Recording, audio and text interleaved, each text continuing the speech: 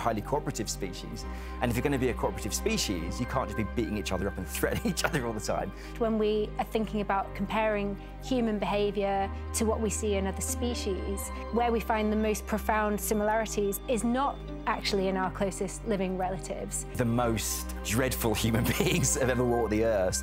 Time and time again, you see that they are absolutely convinced they are the virtuous kind of heroes. I've always been interested in what makes people tick and also what makes them do crazy and irrational things. I'm Will Storr. I'm an author and journalist. My name is Nicola Raihani. I'm an evolutionary biologist. I've studied pied babbler birds in the Kalahari Desert and tropical cleanerfish living on coral reefs to find out what we humans have in common with other species.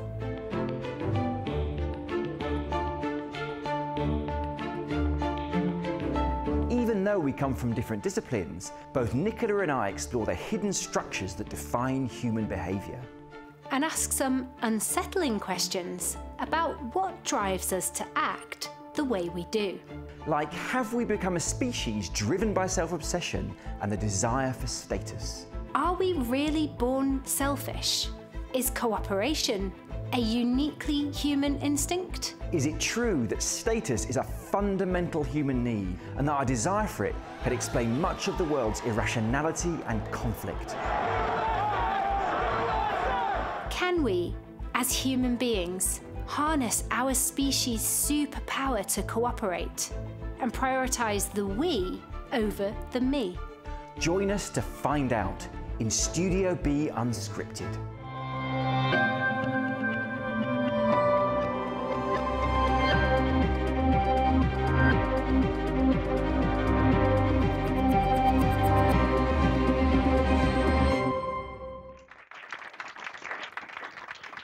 So, Nicola, you are an evolutionary biologist. You write really well in your book about how cooperative the kind of human species is. Are there any other kind of species that share our propensity for incredible cooperation?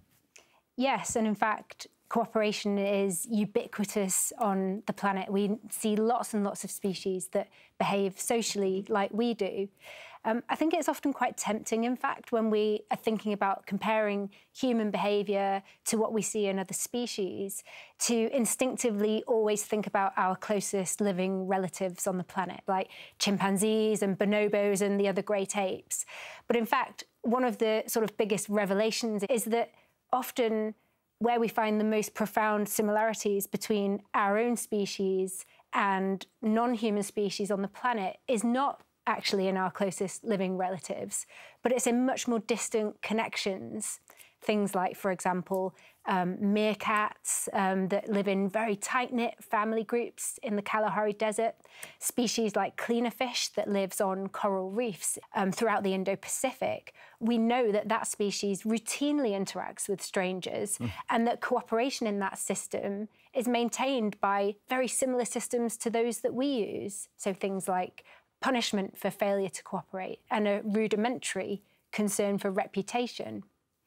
So that's amazing. So, so, so, there are ways in which the cleaner fish are more like us than the chimpanzee or the bonobo, which we're much more used to thinking of ourselves as being like. Yeah, I think so. What we do often find is that it's species that are solving the same kinds of problems as us, mm. and not necessarily those that are cl more closely related to us that we have actually quite a bit in common with. So I think today we're going to be talking quite a bit about status, and your book, The Status Game, um, talks about three different kinds of status that um, that exist in our own species. What are the three kinds of status that we all play for in the status game? Yeah, I mean, I mean, you, you know, obviously you've written about this in, in the social instinct um, beautifully. Like dominance is is is a big way of um, um, competing for status that's kind of ubiquitous in the animal kingdom. Not just violence, but the threat of violence, the, the threat of punishment. So we're kind of demanding and, mm-hmm. and, grabbing status from other people, insisting that we're kind of attended to um, um, um with a sense of status. But then in human groups, there's this kind of prestige form of status. We, have developed these kind of non-violent ways of competing for status. Um, and that goes back to how you know, how, how we evolved, that we're a tribal species, they're a highly cooperative species. And if you're going to be a cooperative species, you can't just be beating each other up and threatening each other all the time. You've got to figure out other ways of working out who's on top, you know, who's on the bottom, and, and, and you know, how we're going to cooperate in, in, in what way. And so, so prestige is basically um, proving, you know, demonstrating that you're useful to the group, you're useful to the tribe. Um, so the more useful to the tribe you are, the higher, generally speaking, you arise in, in, in the prestige forms of status. And there are two ways, um, again, generally speaking, of being useful to other people, your group. And the first way is virtue, you know, so, mm -hmm. so by being a, you know, a morally good person. And so that could be, um, uh, you know, being courageous in battle. Uh, that could be um, sticking to the rules and knowing the rules, but it's also enforcing the rules. I mean, you, you know, you, you, write so so what about punishment in in the social instinct? You know, and that's you know, punishing other people is is a way of um, expressing virtue and being useful to the group. Um, and then the other way is competence. Mm -hmm. You know, so when we're useful, um, you could be a, um, you know, a successful honey finder, a successful storyteller, a successful hunter, or a, you know, a, a finder of tubers. So, so, so those are the three ways that humans have evolved to kind of play for status: dominance, virtue, and success. And you know that that was true of life tens of thousands of years ago. And you think about a human life, you know, today that's also true. That, that's kind of what we do. If you go on social media, you see that combination of dominance, people kind of threatening and bullying each other, and virtue, people kind of, you know, what we, what we call as virtue signaling, you know, um, broadcasting their moral beliefs, their moral, um, um, um you know, preoccupations, and also showing off their success on Instagram, you mm -hmm. know you know, the holidays, the certificates, the I'm right. so humbled by this. and so do you thing. find do you think that um, there's a sort of categorical difference in some respects between the kind of status that you can obtain through the dominance route, whereas the more prestige kinds of status is something which has to be bestowed upon you by other individuals. Definitely. So, yeah, dominance is you're taking status, you're, you're grabbing status from other people, and prestige, people are offering it to you. And as soon as you start insisting on, you know, uh, that, that, you should be treated as a statusful person, people don't like that. I mean, you know, part of all this stuff is about reputation. You know, prestige is all about um, um, trying to get a, a, superior reputation. And I was wondering in your work if you sort of found that there is a particular kind of psychology of reputation. Maybe it'll be helpful to explain how a cleaner fish plays for reputation and just why that's so different to the way that we do it, for example. So the cleaner fish is a small fish about yay big that lives um, throughout the Indo-Pacific. They are pretty um, common, and they hold small territories that we call cleaning stations, where they're visited by all the other fish that live on the reef. And we call the other fish their clients. the clients visit to receive a service, and the service is a cleaning service, which involves the removal of ectoparasites and dead skin from, from the surface of the client's skin. The cleaner fish gets a meal in return. But there's also a conflict that's bubbling away in this interaction, which is that the cleaner fish prefers to eat the client's living tissues. And so now there's a problem because somehow these fish have to work out how to uh, maintain cooperation how can the clients make the cleaner fish provide a good service without being able to, you know, write a contract first of all, make sure you give me a good service. Um, there's no police fish swimming around to make sure that, that the cleaner fish does what it's meant to do. Somehow they solve this problem. And one way that they do this is that clients actually have options about which cleaner fish they interact with. And while they're waiting to be serviced by a cleaner fish, they will watch what's happening in the current interaction. And if it doesn't look like it's going well, if the current client either jolts or if it flees away very quickly, then often the clients that are waiting to be serviced will also swim away and find a different cleaning station somewhere else. What's even more astonishing in some respects about this underwater uh, system is that the cleaner fish actually provide a better service to their current client when they're being watched by a different one who might swim away if they don't behave nicely. And so what we see here is something like a rudimentary concern for reputation. The cleaner fish is managing its image in front of these clients um, so as not to lose its next meal, essentially. And this sounds you know, on the face of it, it, sounds quite similar to the kinds of things that we do. Like, we know that humans are super aware of when there's the possibility for our behaviour to be observed. We behave more cooperatively if, we, if we're being watched or if, if we know that our behaviour might be revealed to somebody in future. But the psychology that underpins the concern for reputation in the cleaner fish, say, versus a human is completely different. So for a cleaner fish, they can basically just learn through trial and error, essentially, that if I do this, if I bite this client, that one will swim away, therefore I won't repeat that behavior next time. So they learn they learn that they shouldn't do something, but they really don't understand why at all. So, so they're not self-aware like we are. They're, they're, Yeah. it's sort of a behavioural thing where they're just working. If I do X, then Y will happen. So they just start doing X. Is that right? Yes, Yeah. totally. So on the surface of it, they are managing their reputation. What we see is that, yeah, it, it's supported by very simple, what we call associative learning mechanisms. Whereas for humans, it, invol- it involves much more sophisticated cognition and being able to take another person's perspective and to understand how your behaviour might affect their impression of you. So this is the theory of mind that we sometimes read about. This idea um, in our head about um, how other people's minds work, and, and, and we've got these kind of models of their kind of thinking and behaviour. Yes, totally. And and you know that that feeds into lots of aspects of our behavior like concern for reputation and wanting to signal things to other people. In particular on things like social media i think you've called social media the slot machine for status. Like what can you say a bit more about that? Yeah, I mean, I, I, I think the kind of the, the kind of the fundamental kind of idea that is behind the status game book is, is this idea that we we all desire. It's not status isn't just, isn't just a desire; it's a need. You know, it's a fundamental need that, that, that we have.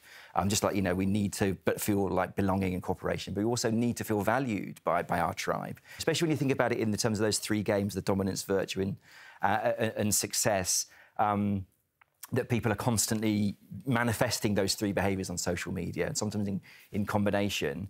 And you know, it's, it's quite well known now that you know one of the things that, that, that can make social media feel really compulsive is that its um, rewards are inconsistent. So just like a slot machine. You don't know what's going to happen next. And I think very often we're gambling with status. Like when we make a contribution to social media, whether it's a, a comment about a politician or a picture from our holiday or some you know, pithy quote or whatever it is, it's our status that we're gambling with. And, and you know, the social media company has been very canny about um, adding to their platforms ways that we can specifically measure our status. it strikes me that often people do things on social media that don't turn out the way they might have hoped and what do you think about that Um, Yeah, that, that, that, that's a really interesting question. Um, yes and no. So there was a really interesting paper that I, that, I- that I wrote about um, in the status game where they talked about humble bragging Mm-hmm. and um, th- th- this, this kind of thing that people always get wrong. And that is that, that when we're, you know, I've been doing it recently actually, when we're putting pictures of our holidays and, you know, and th- things that are, um, that have happened that are good to us on social media, we expect the things that make us happy will make other people happy. But they don't because status is often kind of relative. So, uh, you know, it's that whole we hate it when our friends become successful. If, if a person you you feel is a bit like you goes up there, then that pushes you down there a little bit. So, so, so yeah, I, th- I, th- I think people are, often quite bad at predicting, you know, the status bumps that they desire on social media. And do you think that with this idea of um, thinking of status as being a game of some sorts, is there any way in which sort of knowing that can that affect our behaviour in some ways, or can that help us to be less obsessed by status? I think just being aware of the, the sub, kind of subconscious mechanisms behind lots of our behaviour is, is is kind of really helpful. Um, uh, you know, it can give us that kind of distance, especially when we are. Um, you know, we feel triggered by other people's kind of behaviour. We're not quite sure why. Often it's because we feel like they've kind of diminished us in some way. Sometimes we call it virtue signalling, but you, you write about competitive altruism, and I wonder if you could explain a little bit about what competitive altruism is and you know how it manifests in human life. Sure. So competitive altruism is essentially the positional good. All that means is if I get more of it, you kind of have less of it. Yeah. It's zero sum, essentially. Um, and we've actually explored whether people do use signals of generosity to compete for status using online fundraising pages. Now, the pages themselves are really good places to look for evidence of competitive signalling because when donors arrive at those pages, what they can see is all the previous donations that have been made.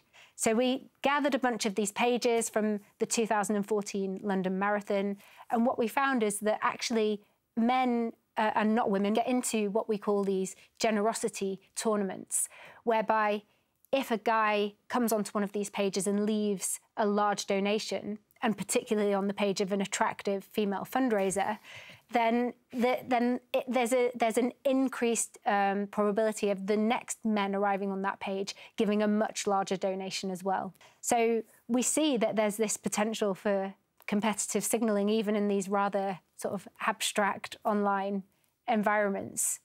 But talk to me more about um, virtue signalling and about how, in some ways, that competitive tendency or this this this tendency to signal can sometimes also go wrong in a way. Yeah. So so, so obviously this you know people compete for, as you say, you know, for status, for reputation, and and some of the domains they compete in is, is, is in these kind of virtuous domains. A lot of that is about what are the rules of my group, what are the rules of this tribe, this status game, and who is following those rules, who's following them better than other people, and and how can I enforce, show how virtuous I am by enforcing those rules. And we see these kind of you know dynamics kind of spiral in in terrible ways, you know, in the Soviet Union, in Nazi Germany, but also in, in you know in less catastrophic um, uh, to less catastrophic effect on social media.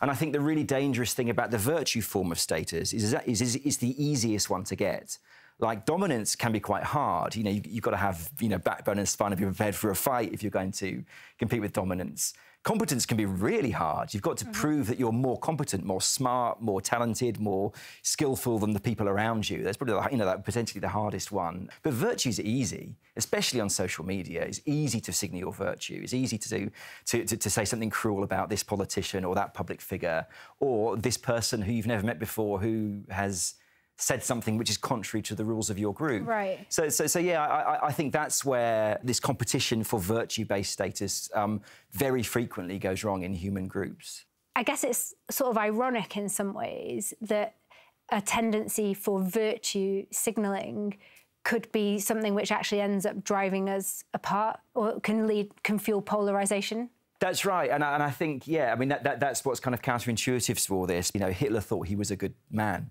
He thought he was saving the world. Lenin thought he was saving the world. He thought he was a good man. Time and time again, you see that they are absolutely convinced that they're, they're, they are the virtuous kind of heroes. Um, and, and, and, you know, and that's, you know, as you well know, something that really separates us from many other, or, or all, potentially all the other kind of animal species. I think we also ought to ask our audience if they have any questions for us. So maybe we could have some audience Q&A. Hi everyone. Um, hi Will. Hi Nicola. My name's Pandan. I'm from India. Oh, yeah. Um, so cooperation on a grand scale has helped humans become the predominant species on the planet. Um, there's lots of examples of cooperation, you know, happening across borders, but media focus tends to be on instances of strife and discord. Would easy access to negative information threaten our future ability to cooperate for good? The thing that's springing to mind for me the most in some ways is um, the narrative that was really dominant around COVID and compliance and large scale cooperation, um, which is basically people's willingness to do something that's really difficult for a profoundly social species like we are. A lot of the stories in the media have and still are in some ways focusing on isolated incidences of non-compliance. But I think it, it really missed the bigger story, in some ways the more surprising story about COVID, which was that actually compliance and, and large-scale cooperation was really, really high uh, for the majority of the time throughout the pandemic. And um, so I think in some senses there can be ways in which the media, by focusing on sort of isolated instances of non-compliance can send a message to people that non-compliance is much more common than it actually is and, and can therefore actually ironically undermine the cooperation that is going on. Sure, thank you. Thanks for the question. Hello, Will and Nicola. It's Orn here from the Book Talk Today podcast. Thank you so much for doing this talk. My question for you both is how does our ability to cooperate conflict with our desire for status? Thank you. It's sometimes described as, as this kind of twin desire humans have to get along and get ahead. But, but you can't separate them out in that way because when you stop cooperating, your reputation goes down, your status mm-hmm. goes down. And, and you know, the final chapter of my book was looking at communism, which was, which was an attempt to form a society where it was all cooperation and no status pursuit, and it, and it, was an absolute catastrophe. And, and, and, and there, there was status pursuit. Mm-hmm. I mean, at, at, one point, sociologists found 12 distinct social classes in the Soviet Union in the 50s. Mm-hmm. So, so you can't separate, um, you know, um, corporation and status. But there's it's actually there's actually a more um, a different point that your question brings up as well, which is um, something that people quite often mistake when we're talking about concern for status and cooperation, which is this idea that when people gain reputation benefits from cooperating, that the only reason they cooperate is because they have those reputation benefits in mind, and that's completely untrue. So lots of the time people are on a psychological level quite unaware of the status benefits or the reputation benefits that their actions might bring. And they might cooperate for psychologically very pure reasons. Um, but that isn't to say that those that those actions can't still yield reputation benefits. And that's why those things, in fact, have been selected for in an evolutionary sense. Hi, Will and Nicola. My name is Annette. I'm originally from Germany. Um, some people seem to see um, establishing dominance and achieving status um, as part as a reason for selfish and inconsiderate behavior. Has that uh, sort of self awareness changed due to being more visible and therefore more scrutinized online? As a species, the human um, tendency to resist big shot behavior and to resist overt displays of dominance and to bring those individuals back in line is something that has been with us for much, much longer than um, social media. So, that tendency to bring those individuals down a peg or two is something that's been really widely studied in lots and lots of um, pre industrial and contemporary non industrial societies. And in some respects, that is one of the key differences between humans and, say, a chimpanzee society, which is very despotic, actually. And human societies are much more egalitarian than those of our closest living relatives. And in part, it's because we do resist that kind of despotic, big shot, alpha male type behavior. Hi, I'm Paul Vos from the Netherlands.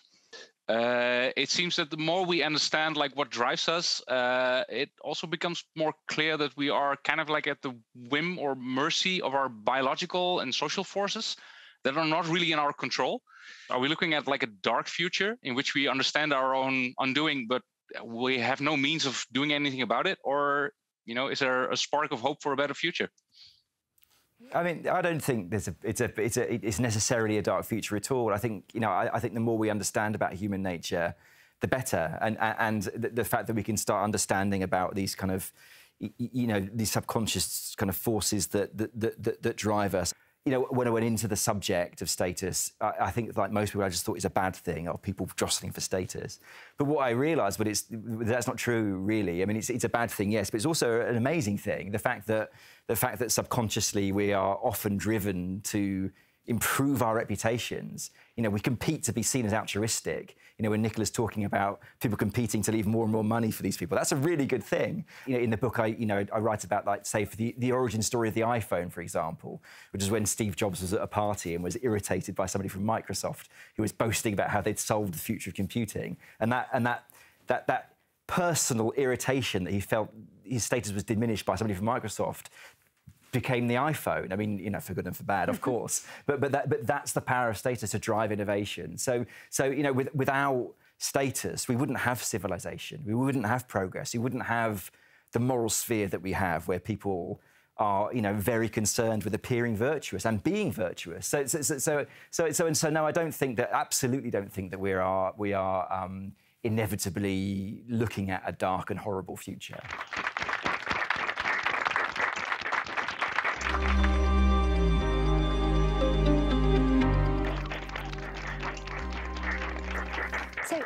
Heretics, Will, you've talked a bit about people who, for example, become neo Nazis or they join cults. What is it about these people that makes them start to believe crazy things? Well, I, I, think the sort of the broad answer to that is that the brain isn't particularly interested in the truth. It's not interested in accuracy in how the world works. The brain wants to know who do I have to be, what do I have to believe, who do I have to become to cooperate with these people and to gain status, you know, within them. In the Heretics, I write about the idea of the brain as the hero maker. Mm-hmm. It's, you know, if we've got a psychologically healthy brain, um, it's telling a story. You know, a story about our, about how we're right about the things we believe. Um, so, so, so and, and, we tend to believe facts in inverted commas that flatter that kind of hero hero maker narrative. And, and any facts we come across in the world that contradict it, and the brain is very good at right. you know deflecting it and um, um, finding ways to kind of undermine it.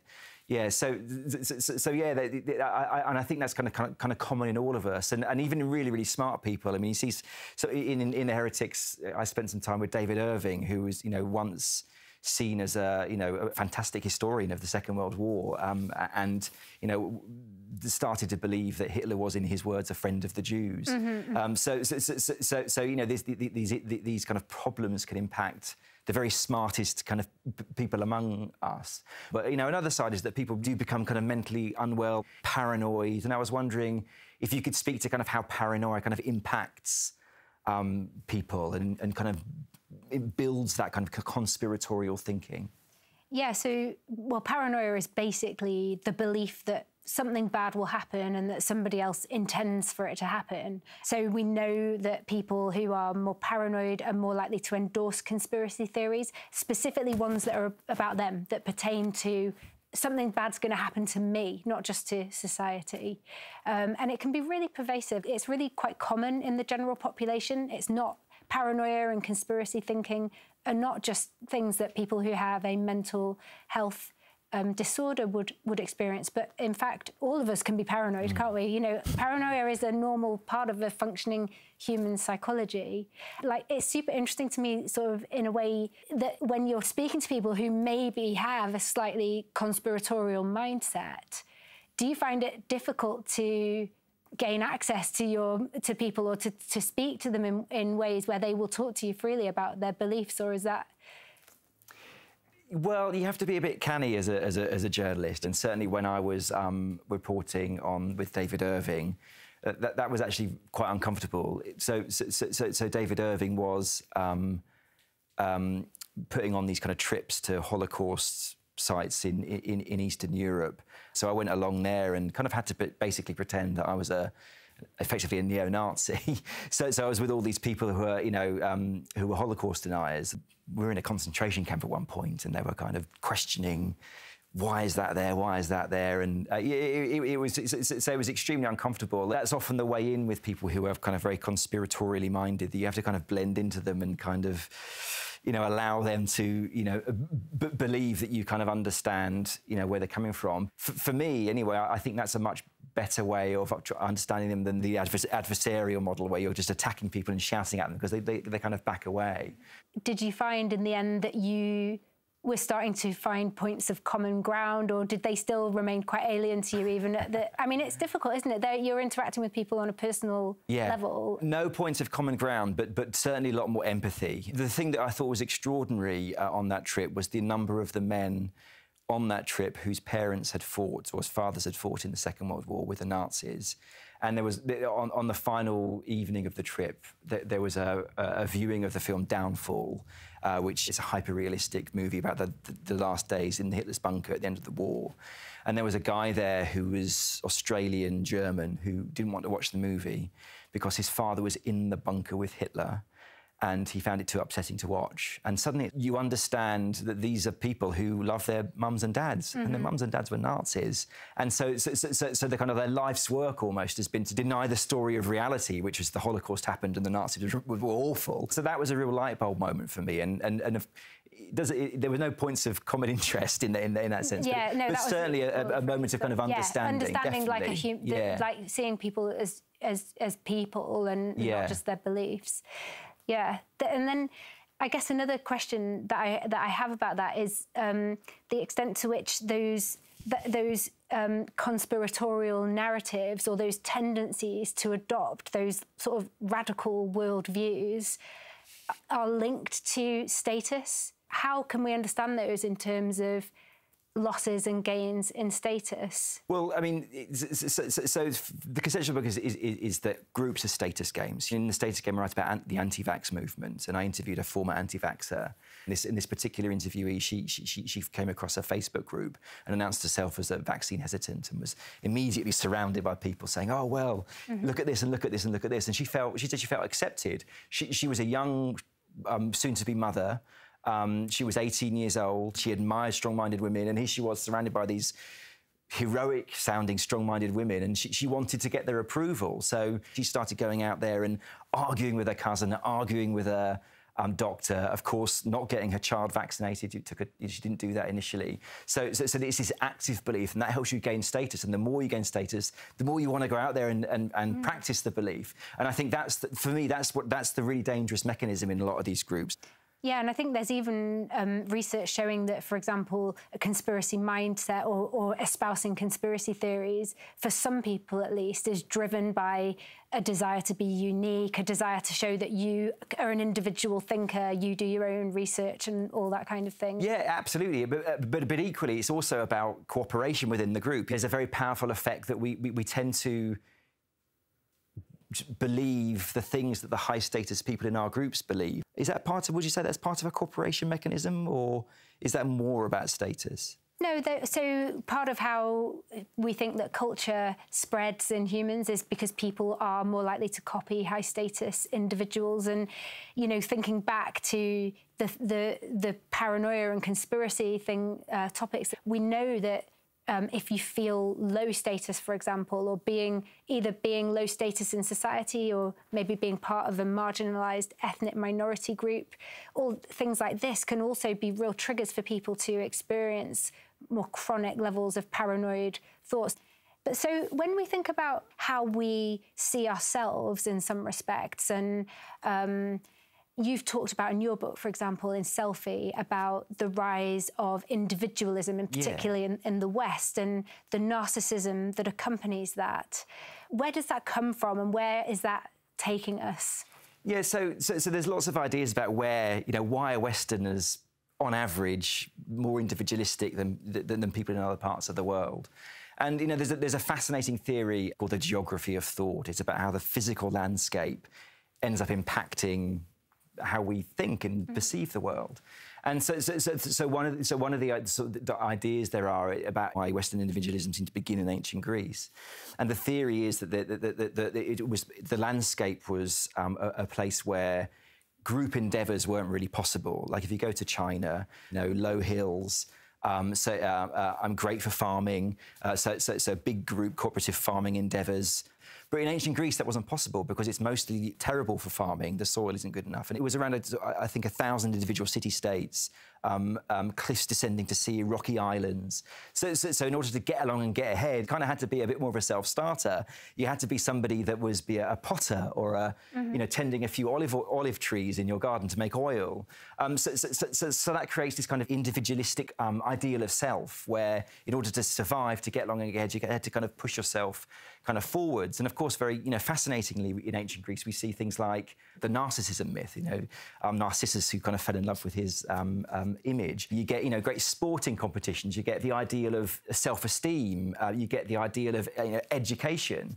So so, so so, so, yeah, you know, it, it's a kind of fascinating kind of theory. You know, it's not binary, but the Western emphasis on me, me, me, me, me comes from the physical landscape of, uh, uh, uh of ancient Greece. And I was wondering sort of whether you felt, you know, kind of, kind of this kind of individualism, kind of how that impacts our cooperation, our cooperative nature in the West there's been a bunch of work done by people like Joe Henrich and, and people like that that have actually seen individualism through a different lens in some ways by looking at how um, you can understand individualism as being a reduction in the strength of family ties. So essentially, you're you're you're you're focusing less on your immediate family, immediate friends, and you're kind of broadening that social circle out and making your own links and your obligations are not actually so much within that tight, small circle, but you feel a much more impartial um, sense of obligation to pretty much everybody, right? So I think there's this um, idea that individualism, in some ways, can help us to explain the rise of large scale cooperation. Our willingness to cooperate with strangers that might also come, you know, with a with a byproduct of being actually slightly less concerned with nepotism or helping our family, helping our friends, and, and things like that. Do you relate to that sort of description? Yeah, I mean, I actually sort of write about that that, that idea in, in, in the status game, the, the idea that actually, you know, Western individualism is about cooperating not with the immediate group, with immediate family. It's kind of breaking those traditional ties uh, and learning to cooperate with with with, with um, uh, people outside our group and seeing them not as members of groups as such, but as individuals. As mm-hmm. you're useful to me because you're a potter and you're right, a, yeah, right. yeah, or, or, yeah, yeah, yeah. So selfie was was much more about how our kind of me-focused Western self. Um, seems to have um, made us more perfectionistic, right. and, and, there was this sort of large study um, which looked at levels, rates of perfectionism in the West, in Canada, the US, and the UK since the 90s, and since um, you know, what's sometimes termed as, as neoliberalism, that kind of Thatcher mm-hmm. Reagan revolution. The whole point of that was to increase competition wherever we could find it, to get rid of the big states, um, uh, to get rid of banking, you know, to, to regulation, um, um, get rid of um, um, you know, as many rules as possible, and to make everybody more competitive, and how the, the extraordinary kind of effect that had on the the sense of the Western self. We went from screw the man in the 60s to greed is good in, in, mm-hmm. in just 20 years. It's quite extraordinary how we changed when, once the economy changed and how the rules of how we're supposed to get along and get ahead kind of had to change. But you know, the, there were significant downsides to that, I think, and, and, and this rise in perfectionism is potentially particularly worrying because with perfectionism becomes comes things like you know eating disorder, steroid abuse in men, self harm, you know suicidal thinking. Um, I, I, was wondering if you, you felt that, you know, with all your kind of expertise and the amazing human art of cooperation, how we could harness our kind of genius for cooperation in the future to kind of make the world a bit happier, a bit more successful. You know, on the one hand, our ability to widen our social circles and to cooperate at more global scales with other people is really undoubtedly the reason that we managed to, you know, leave the environments in which humans evolved and to eventually colonize the globe. And so, you know, cooperating outside of our immediate family is a major part of our human success story. But it's also the reason that we are now massively overpopulating the globe and that, um, you know, we're overusing the Earth's natural resources. And so it's hard to say actually whether our tendency to scale up that cooperation and our cooperative ability is ultimately our, you know, is it our winning superpower or is it our undoing? I, I don't know. Do, what do you think? I think what's often missed is that that we are highly cooperative, but we tend to cooperate mostly within our own groups, and I think that's perhaps the hard the hard problem to crack for humans because we because we're ineffably groupish it's very intuitive to us to cooperate at local scales. And, you know, you hear words like nepotism, corruption, bribery.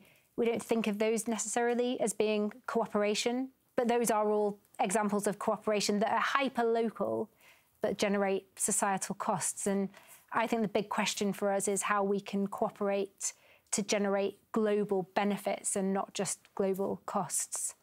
And with that, I think we should uh, allow for some Q&A from the audience.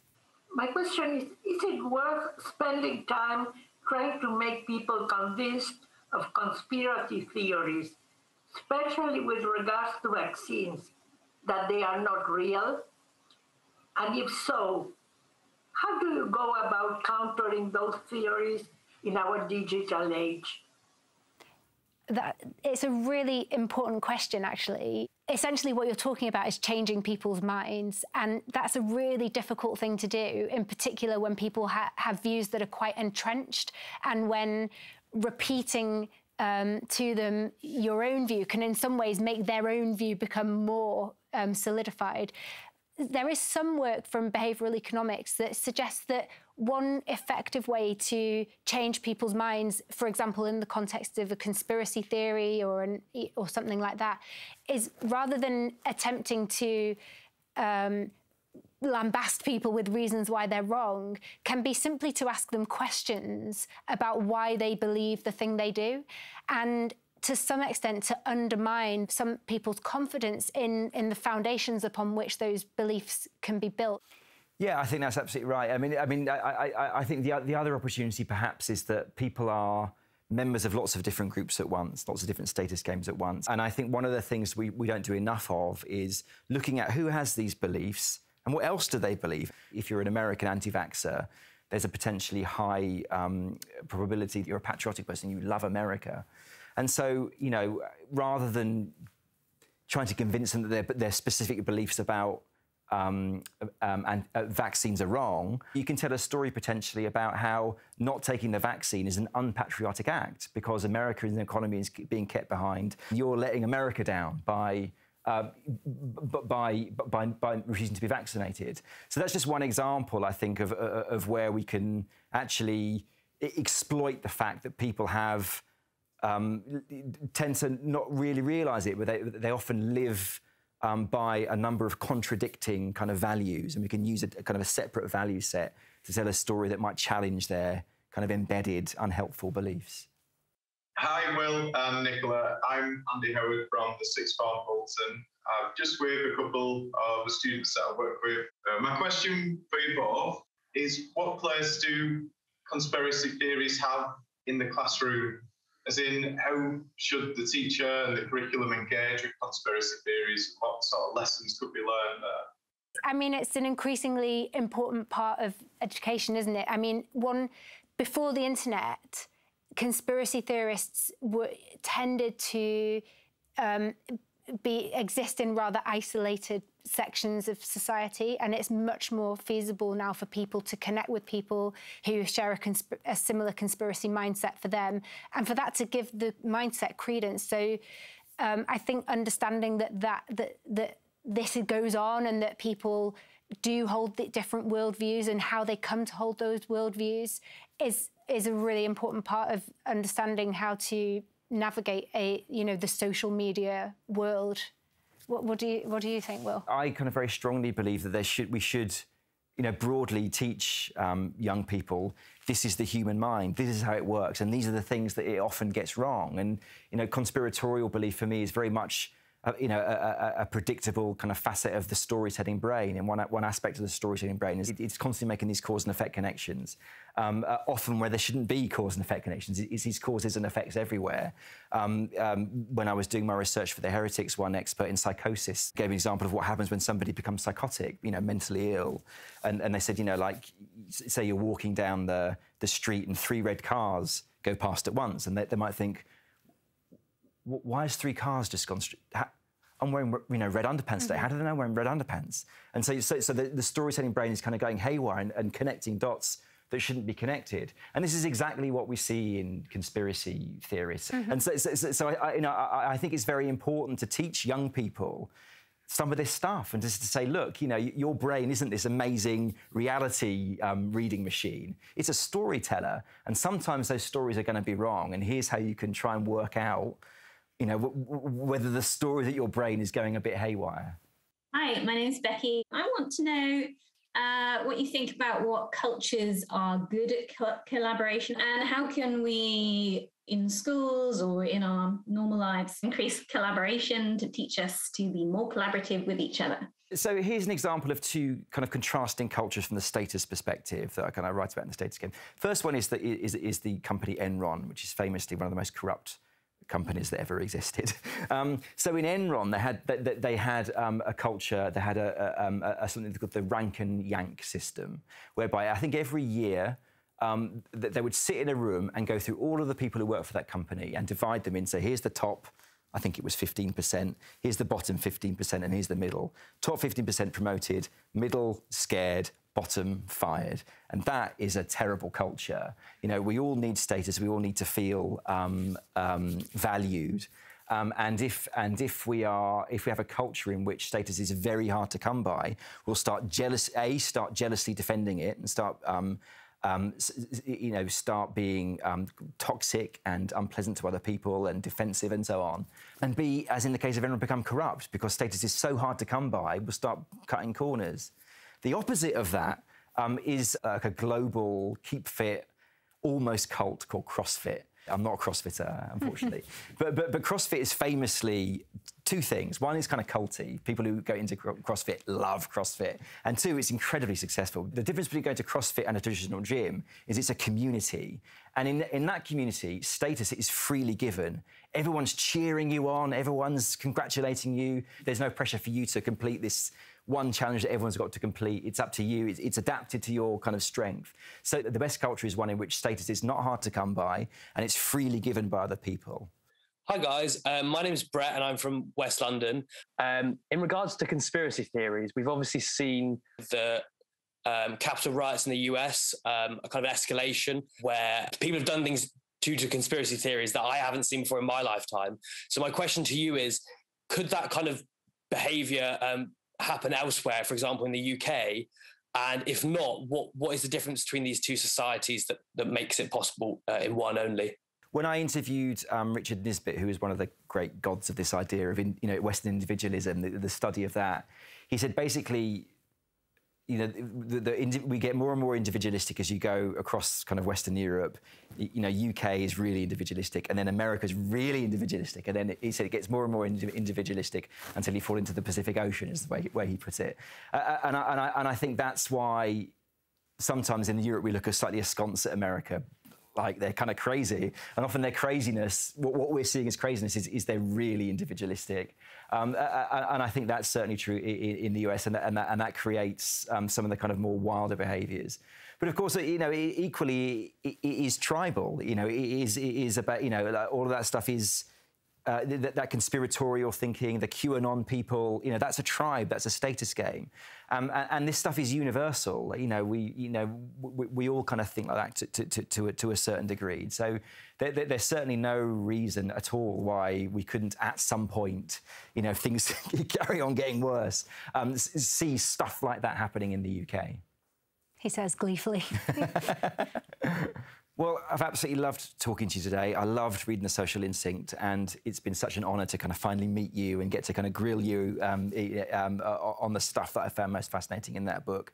And I guess, you know, one of the takeaways I've got from our conversation today is that we really do have a genius for cooperation as a, as, as, the, as a human animal. And if we can, you know, if we, if we can kind of harness that even more, then there's no reason why um, the future shouldn't be bright for our species. Yeah, likewise. I, you know, massively enjoyed reading the status game, and it's been great to chat about that in detail today and to think about the ways that this concern for all those three kinds of status that you talk about in the book just permeate every aspect of our lives.